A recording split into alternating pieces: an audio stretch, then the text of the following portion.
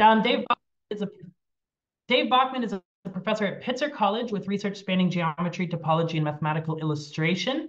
Um, he's also a working artist who works in jewelry, light fixtures, and large 3D art installations, and maintains an active math art blog whose posts always give me something to look forward to. So I'm very excited to um, hand over the floor to Dave.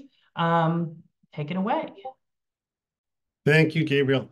Um, I want to thank anybody, everybody who, who's shown up this this morning to to see this, and uh, especially the organizers for inviting me. This, um, I think my talk's going to be a little bit different for those of you who've shown up to these illustrating math uh, seminars that we have. This wonderful series. A lot of them have been more of a retrospective on people's work over the years and their career, um, and I'm I'm gonna I've decided to try to do something a bit different. So you can see you can see some of the work I've done behind me on my shelves, and um, I'm not going to talk about most of that, but most of the work I've done really falls into different buckets, different themes, and I come back to these themes fairly regularly. And over the years, they, you see these these strains through my work, and and one of the ones probably my favorite is this idea of um, defining, uh, creating art, creating objects, creating things um, by a virtual growth process where you can't really predict. You set a bunch of forces in motion using some mathematics, and then you don't always know what's going to come out, but it's always fascinating. So, I mean, often when we think about mathematics and mathematical art, we think about, you know, just some sort of parametric surface and 3D printing that. I've certainly done a lot of, of that sort of thing. Um, but the kinds of forms I'm talking about today, we'll see, are, are much more organic. So let me uh, share my screen here Hopefully you're all seeing that. And, um, and let's get started here. So um, this isn't so much illustrating mathematics like a lot of the talks are, and I think a lot of this group is interested in. It's more, it's more about illustrating what you can do with mathematics. So one of the frustrating things for, for me and sometimes for viewers, I've gotten this feedback is that that I'll show someone something I'm very excited about. And the math is is not very explicit. You'll look at it and you'll go, well, okay, that's cool, but but where's the math there? And the math is really goes into the creation process rather than the final result. So I'm excited to have this opportunity to talk to you all today about about the math that goes into creating these these very organic objects. Um, as I said, this is a theme that's gone run through my work, um, one strand of my work over over many many years now, and over the years I've taken a lot of inspiration from from many different people coming from a variety of backgrounds. So, for instance, um, one one person's work uh, is Michael Hansmeyer. He's an architect, and I've I've always loved his work for for many years. I know many many years ago he talked in a Bridges conference. You can find a paper he wrote for that Bridges conference where he talks a bit about um, about creating these fractal structures, but he's really creating these fractal structures through a, a growth process. And he's written a bit about something that I'm I'm going to talk about much later in the talk about how you can vary the algorithm that creates these in a couple different ways. One way you can vary the algorithm is by where the point is that you're growing in its environment. And then another by you can vary it by somehow the intrinsic geometry. And you get very different effects that way. And that's going to be an important part of, of the later part of this talk. Um, another group that I've always uh, admired is the um, at the MIT Media Lab, Neri Oxman's group. Uh, they've done some amazing biological work where they're actually using these sort of um, differential growth algorithms to create these biological forms, but then 3D printing them with actual biological material and trying to create uh, virtual organs and literal, literal organs, external organs, and it's really worth uh, going to this web their website and, and checking out their work. And it's the same general kind of idea in this project. Um, not everything I'm going to talk about is 3D printed. Um, you can certainly use uh, handcrafts to do to implement the same sort of algorithm. So I think I think Daina Taimina really was the pioneer of this. I think she's in the audience right now. I'm excited you're here. Um, and Christine and Margaret Wertheim is, have really taken this idea to another level where they've explored many, many, many, many variations of the same idea. And then when you put those together in one display, which they've displayed in museums all over the world, as you see here, you create these amazing um, ensembles of uh, variations of the same theme that re re really resemble these kind of coral reefs.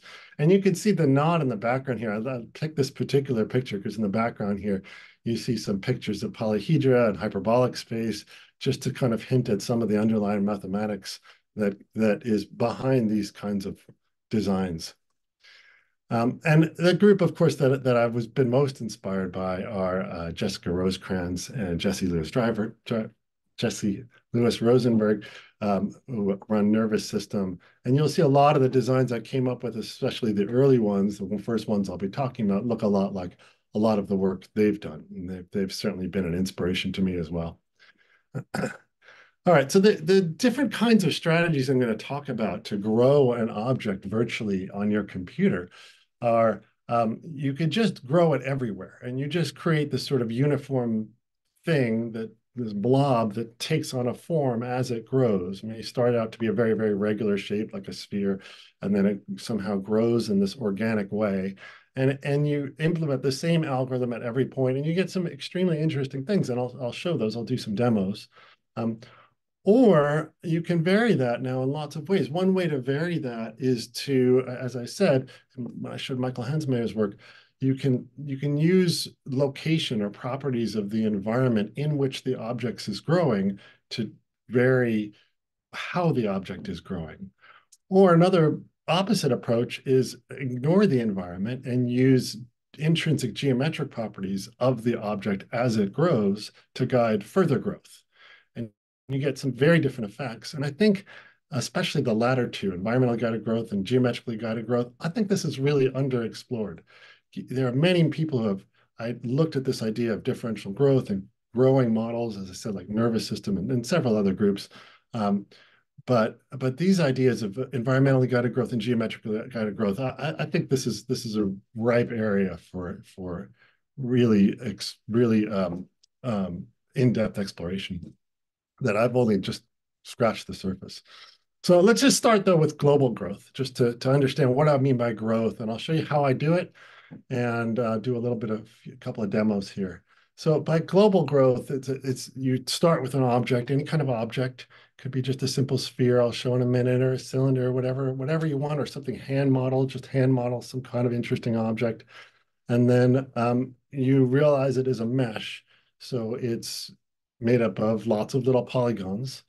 Those polygons meet at corners, and at each of those corners, you add a repulsive force. So you imagine that this model is made out of little balls and sticks, and all the balls repel each other.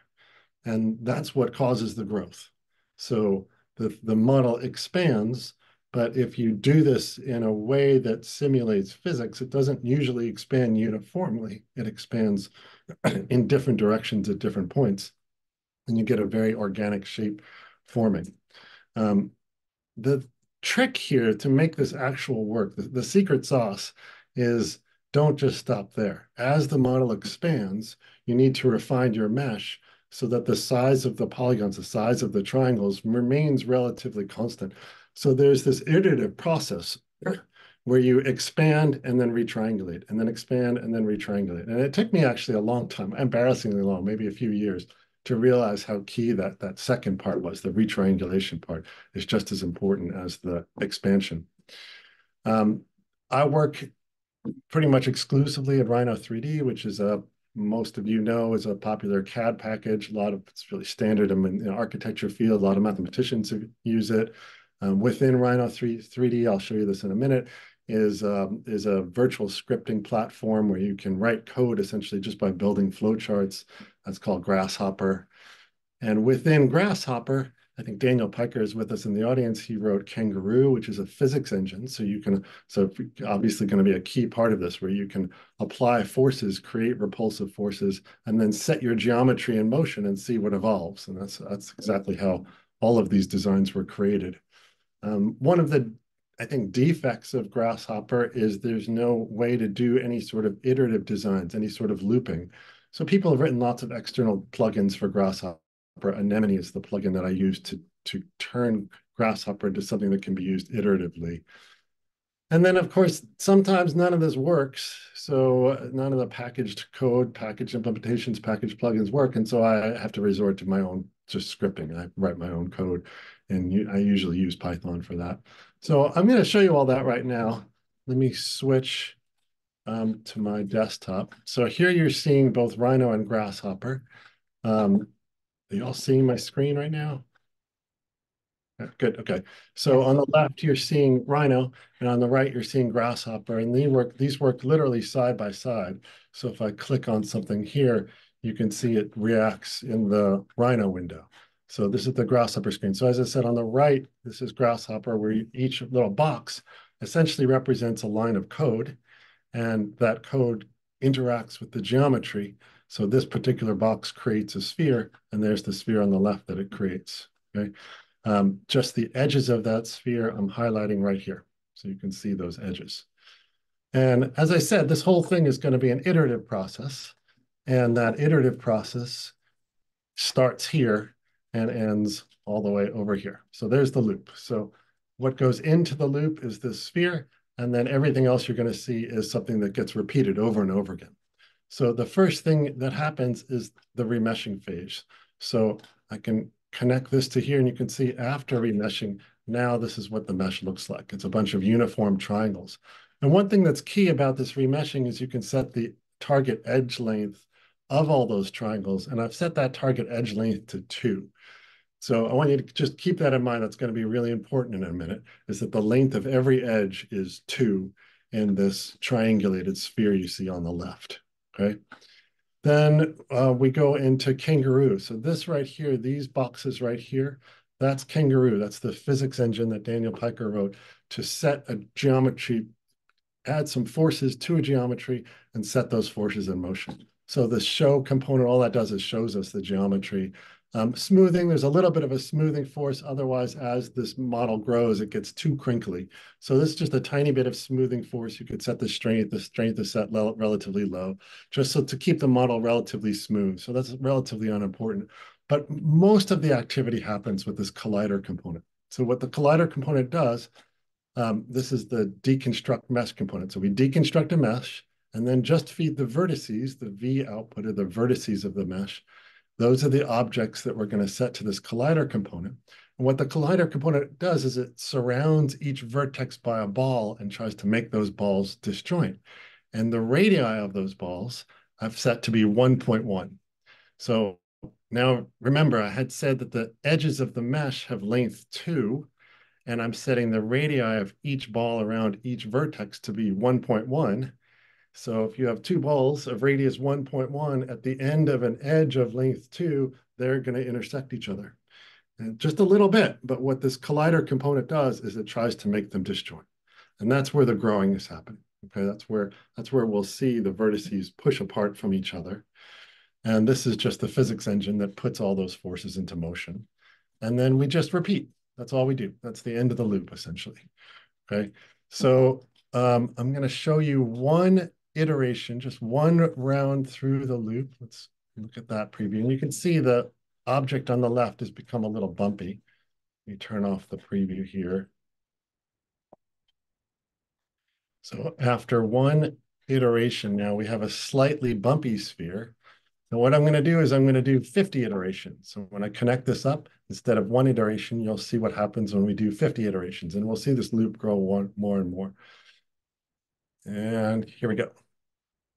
And it happens almost real time when the mesh is relatively small. It um, happens pretty much in real time. As the mesh grows, you get it's retriangulated each time, so you get more and more and more vertices, which is more and more and more forces. And you can see this object growing, but it grows slower and slower as it gets more complicated. But 50 iterations still will be done by the time I'm done talking here. We're at 47, 48, 49, 50. And so there it is. That's it. That's the growing algorithm in a nutshell. It took me years to get down to code this simple.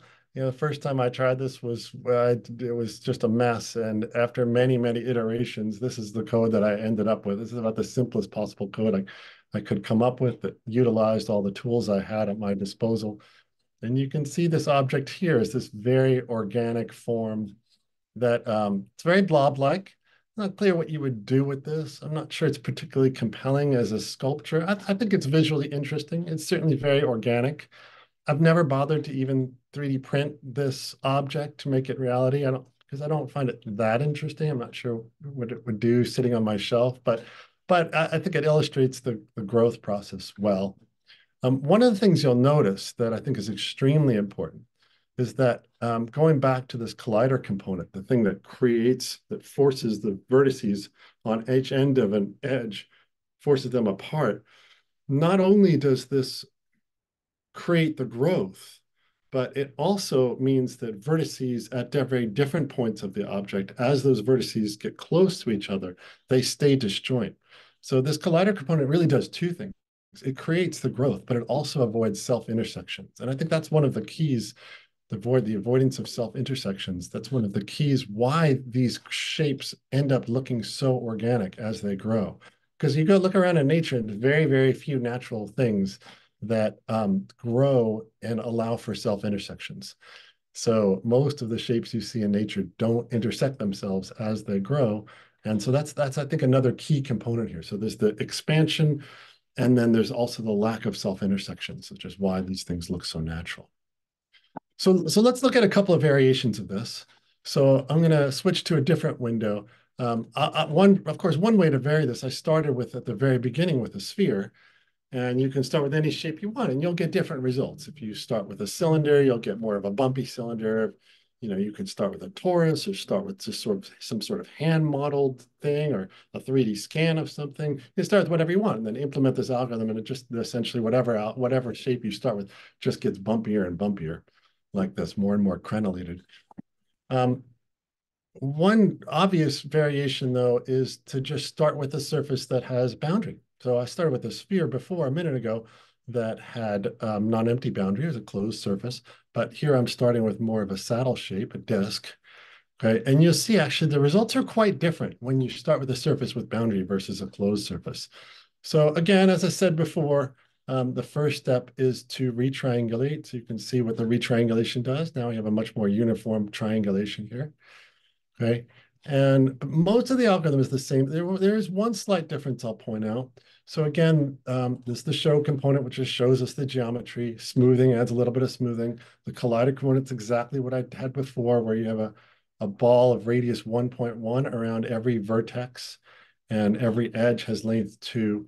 You see there's some, some new stuff down here. All this new stuff does is keeps the edge of the object smooth as we iterate, okay? So this smooth keeps the interior of the object smooth as you grow these components down here keep the edge of the object smooth as you grow. That just makes it look a little bit nicer. But I don't want you to be distracted by that. Really, the action is happening with the collider component. It's the same mm-hmm. essential algorithm here is that we put a ball of radius 1.1 around every vertex and then just grow, let it iterate. So I'll show you what happens here. Again, this is just after one iteration. Let me turn off this stuff. And we'll just do 25 iterations. Let me zoom out a bit. And you'll see the difference in shape. Of course, it still gets bumpier and bumpier, but the edges get more and more crinkled. And now it's looking more and more like maybe coral or other um, forms that you might actually find in nature. It's still not that satisfying. Um, the lack of self-intersections, I think, is still important in terms of the final form you get. Um, I think it's still, I don't know, overly complicated to be aesthetically appealing to me. All this bumpy stuff in the middle, I think actually um, is really interesting, but from an aesthetic point of view, I don't think it's as compelling. So I'm just going to go through one more variation of the same algorithm. Here, so here, instead of starting with a disk, I'm starting with a cone, conical object, okay? And the same sort of thing is happening. First, I launch into this loop, and then we remesh. Same idea, nothing new here. Okay, we have um, a show which shows us the geometry, smooth, keeps the object smooth. This stuff down here at the bottom is keeping the edge smooth.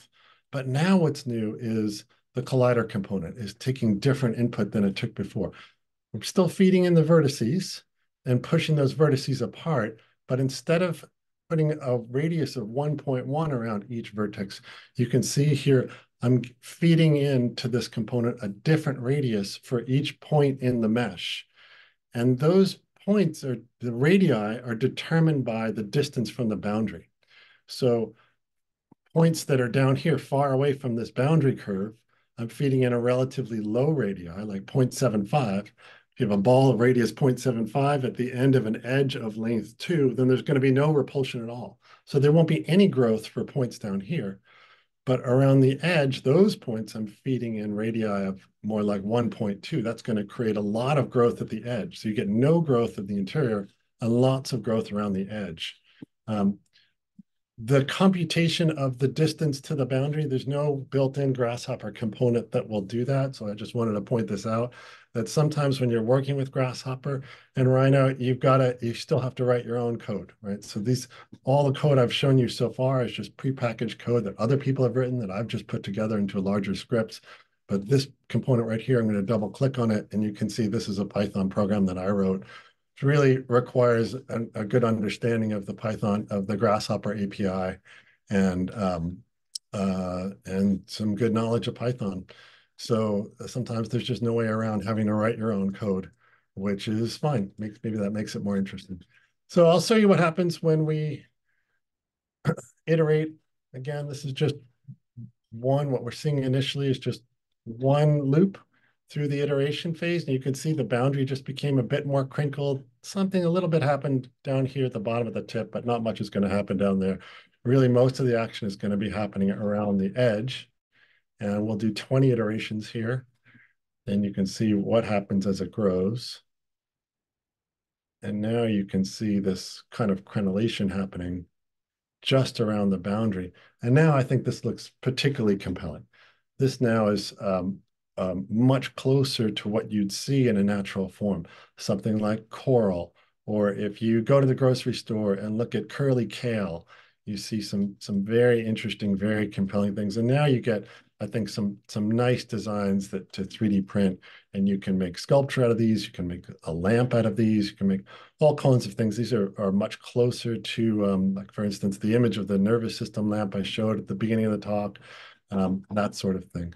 So that that's the basic idea is just put a repulsive force by each vertex. And, and in this in this particular case, that repulsive force is determined by how close we are to the boundary curve.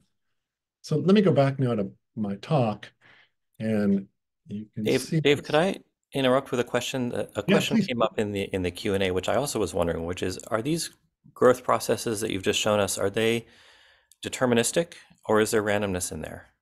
Um, if if I run this again, it'll produce the exact same thing. They're absolutely deterministic. Yeah. Okay. Thank you. Good question. Um, it's a it's a good question. It's not very hard to throw a randomness random number generator into uh, Grasshopper, and then you can get a different output, the same thing. So um, the code I showed was completely deterministic, but you can make it random without any work at all, really. So um, and, and of course, that's a nice way to explore lots of variations. You get the same sort of general designs each time, but you get lots of variations within that design. Yeah. All right, so let me show you some some work I've done with this same basic idea, some things some things I've produced. Um, so here's a lamp I created, same, and you'll see it looks familiar. It's essentially I started with kind of a funnel-shaped object, computed. This had two boundary components, one at the very top and one at the bottom and all of the growth that was concentrated around that bottom boundary component. And I let it run for a little bit and then um, 3D printed it and turned it into a lamp. Um, I'll point out one, one thing I'm not going to talk about at all here is um, I'm only talking about form and not texture in this talk. So I talked about how to create the basic form, but you know, there's a lot that goes into a model like this. There's, you can see there's a finer texture to it. So there's a lot of choices involved in that texture. There's choices involved in 3D printing. What material do you 3D print in? Scale, what size? Course, 3D printing has costs associated with it. So if you change the scale, that's just going to change the cost. Then if you're going to turn it into something like a lamp, there's a question of how do you wire this up? How do you connect it to a, a light bulb? Um, so there's lots and lots and lots of other kinds of considerations and go, go into a design like this. But um, but today I really just want to focus on just the basic form that um, that you can create with this these this kind of algorithm. Uh, here's another one, uh, another another lamp I did. Again, this um, started with more of a saddle shape. So almost more of a clam shape design where the boundary sort of uh, uh, essentially followed a saddle curve. And then as you let that saddle curve evolve, you get this kind of design, another, another lamp, floor lamp in this case. Um, and one more, this was a design, uh, yet another lamp where um, it was more of an annular design. So there were two boundary components, an inner one and an outer one.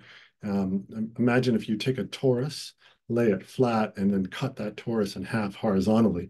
You get two boundary components, an inner boundary component and an outer boundary component. If you let them both grow, you get this kind of design. So just by just this exact same algorithm in each of these three cases, but just by varying that algorithm, you get very different kinds of shapes and um, and I think it's it's you get these beautiful lovely designs that um, then you can do whatever you want with. Turn them into sculpture you can turn them into lamps you could turn them into jewelry you can turn them into anything or just use or just show them virtually. Just create animations on your computer or whatnot.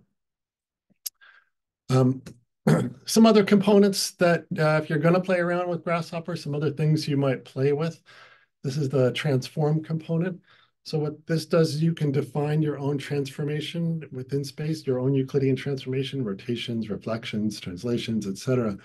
And force as you grow the object, you can force a transformation to be maintained between different points of the object. So as the object grows, you can maintain symmetry so that you get this um, almost almost a contrasting effect of a symmetric object that still has an organic feel to it. I haven't done a lot of exploring with this. I did make one lamp based on this design where you see there's um it's not the best picture. You see there's five identical leaves around one central light bulb. And the transform component was used to keep those leaves identical as the as they grew. and so you got this five-fold symmetry around a central light bulb there and I think I think that was a, a, a beautiful design. But as I said, I I haven't really played with this idea as much as I should because you can your you can chain together transformations. You can have a polyhedral design. You can have any, any design that has any symmetry you want, and then grow that design while maintaining the symmetry. So I, I think that's an idea that's underexplored that that uh, I'd like to pursue in the future, or maybe one of you will pursue that idea in the future.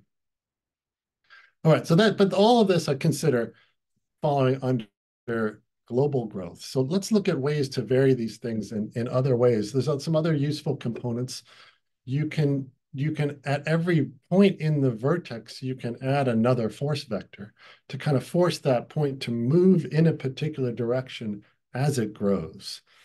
And that's the key to in what I call environmentally guided growth, where those force vectors that you apply to the points of the surface um, depend on where you are in space on the surface.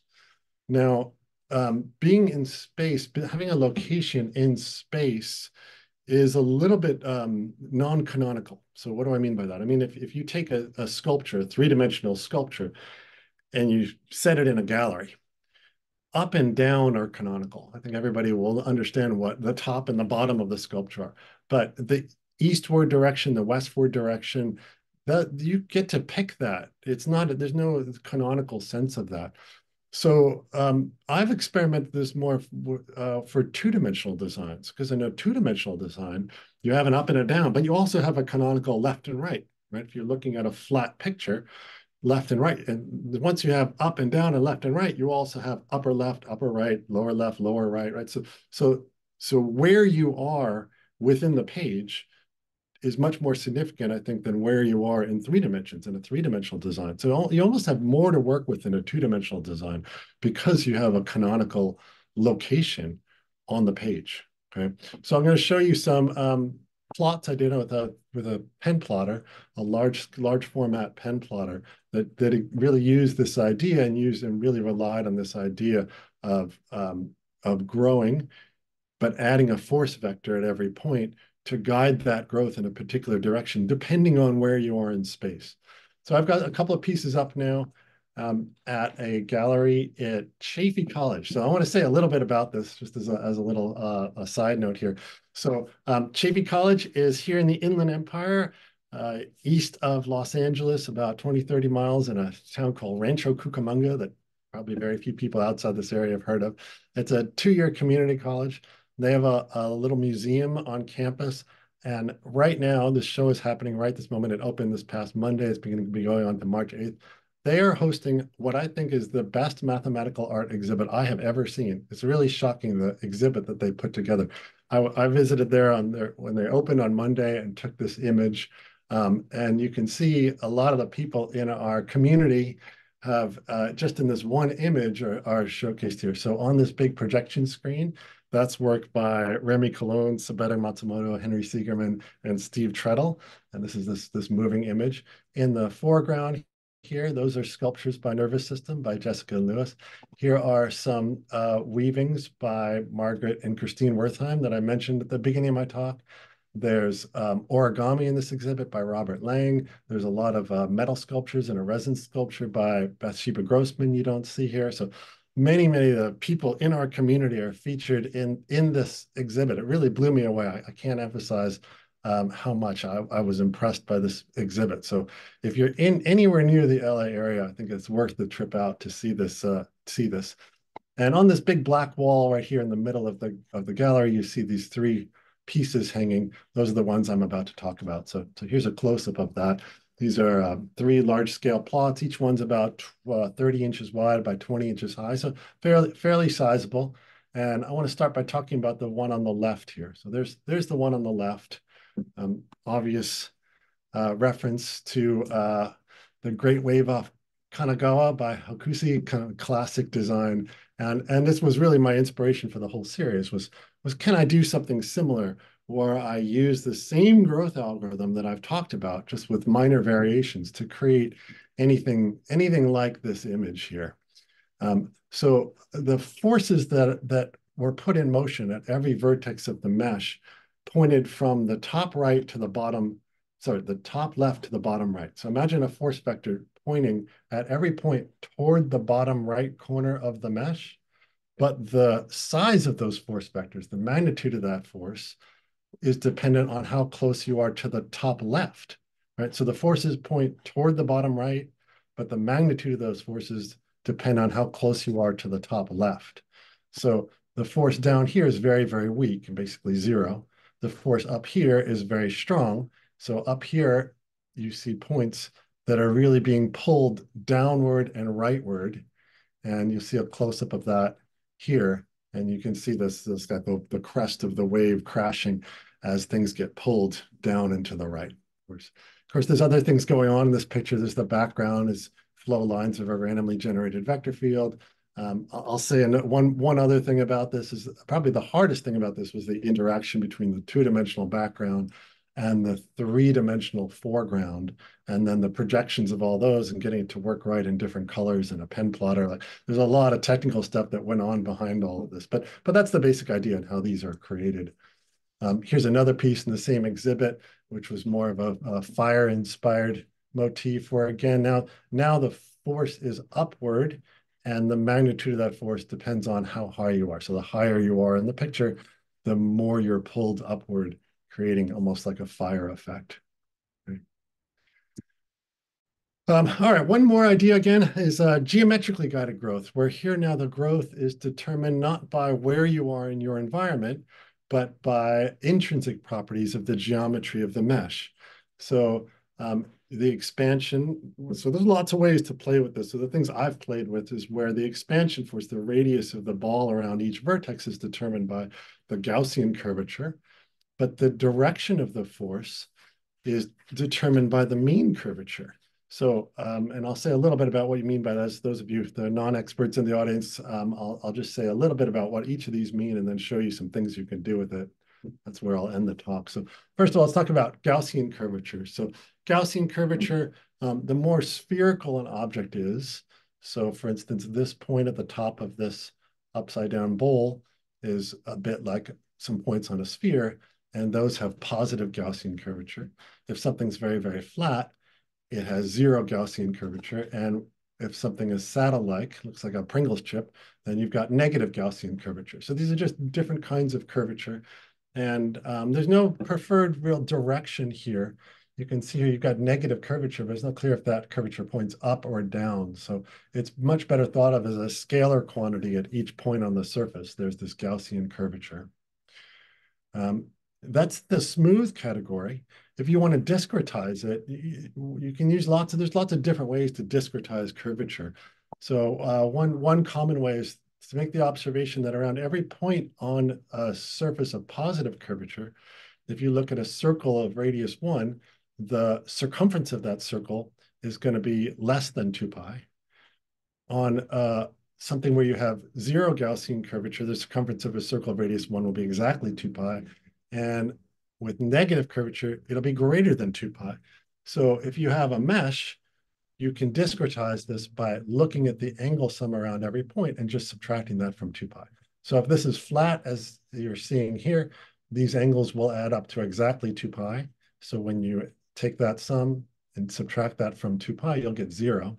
If, if you imagine this is looking straight down on a cone, then those angles will be less than 2 pi. So 2 pi minus that will be a positive number. And if we're looking straight down on a saddle, then these angles will add up to something greater than 2 pi, and 2 pi minus that then will then be a negative number.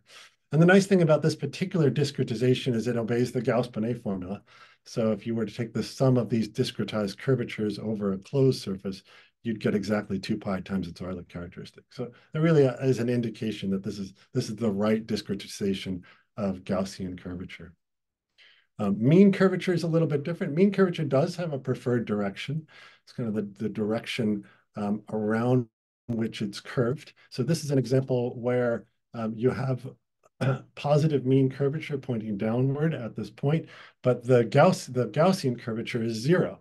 So you can see really the difference here between mean curvature and Gaussian curvature. Gaussian curvature tells you very little information except that it's locally Euclidean. But the mean curvature really says the direction in which it's curving. The concavity, if you want, is, is pointing. So um, mean curvature is more suited to force vectors applied to each vertex, whereas Gaussian curvature is better to determine the expansion. Here's the, I'm running a little bit low on time. Here's the standard discretization of mean curvature. Uses a lot of uh, concepts from discrete differential geometry. Um, this is kind of a classical cotan formula. So um, it's not hard to code this yourself in Python or even in base components in Grasshopper. It's quicker if you use a Python component. But um, this is the formula. Just essentially type this formula in and, and let it go. Um, so it's not hard to implement this once you know the, the appropriate discretization. Um, here's a, a, an example of, of that. So what I have here is there's this tube that's kind of snakes around, a little hard to see because it's all in black on a gray background, but there's this tube coming up, snaking around, it's a three-dimensional picture, and I've capped off the tube with a white cap. And in this case, the mean curvature is highest at the rim of that cap. So I've colored the cap white and the tube black so you can see that interface where the cap meets the tube. And that's where the, the white stuff meets the black stuff that's where the mean curvature is highest. So if you grow in the direction opposite the mean curvature, that edge there is what's really going to start to flare out. Um, and because of the discretization, it doesn't flare out uniformly. If this were smooth, you'd just get the rim would just uh, flare more and more uniformly. But because it's discretized, it flares out and it becomes a bit bumpy, and it gets bumpier and bumpier, and then the bumpiness gets accentuated. But this is a very different kind of effect than we saw earlier in the talk, where you, the bumps were more uniform, or you got something more kind of hyperbolic -y. You'll see what happens as we as I show the animation here. It's flaring out, um, and then it it almost creates these flower-like petals as it flares. Um, here's another view of the same thing. So now we're looking at that tube head on, and um, for the purposes of the animation, I've removed the cap. It's still there, but in each frame of the animation, I've just made it transparent. So you see the tube, you don't see the cap, even though it's there for the discrete mean curvature calculation. And now you can see this flaring out when you flare in the direction opposite the mean curvature.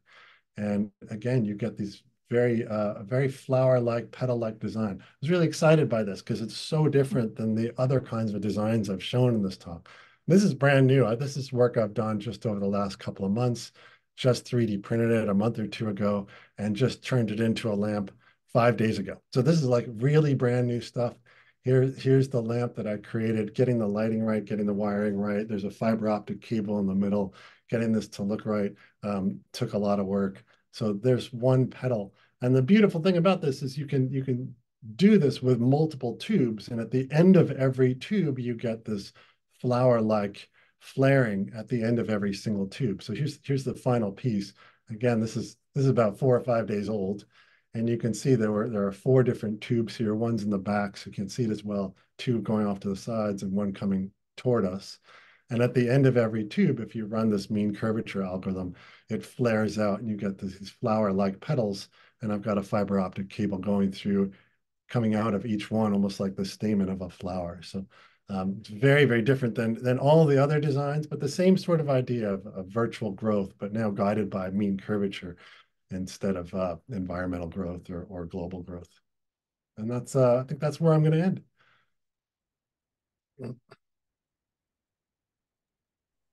Thank you so much. What a um, what a beautiful frame to end on. Um, I see that some folks on the Discord are agreeing. There was an emphatic wow from Frank, and Henry Segerman says, beautiful work. I'm wondering if other folks have um, questions or comments they'd like to, um, you can raise your hand, um, or I could read them off. I don't know if off the Q&A. So I'll read this first question off the Q&A from Frank, Frank Farris, who says, how about something in growth algorithms to acknowledge that later in the process, resources have to be distributed across the whole structure? Maybe tie parameters to how many iterations have occurred. The curly kale looks great, but to me, maybe it's too curly near the edges. Yeah, uh, again, th this I think is highly underexplored, this whole idea. There's so many variations you can do. Um, uh, and I think uh, I love that idea of uh, resources, looking at resources, maintaining resources at each point. As you grow, the resources get depleted. I've done some ex um, some experiments with reaction-diffusion type um, processes where you exactly have that. You have a two, you know, simulate two chemical concentrations at every point on the mesh and look at the interaction between those as the growth happens.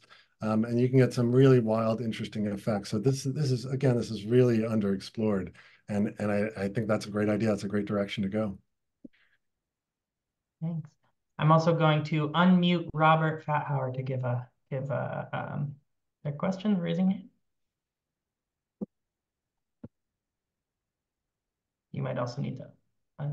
Uh, yes, I was going to mention I did a, a hand-built ceramic piece about five years ago based on one of Dave's forms do, do I have the camera or it's going to show it if I can? Let's see. Um, I don't know. Can we allow the camera? I think it might just be sound that's allowed for here. I can join as a panel. Yeah. I think your camera may work now. Okay. Oh, sorry, start video. Okay, well, it's a pretty good sized piece, as you can see. The center is a saddle form.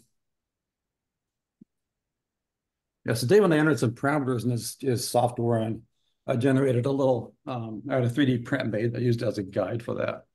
So it's a hand-built ceramic piece. You can hear it's got the kind of ring to it, but. Wow. That was all. Thanks for showing that, Robert.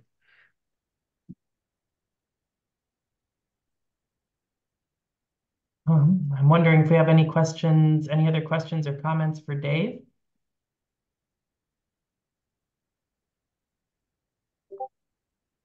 Um, I'm hearing the ding of the of the uh, Discord.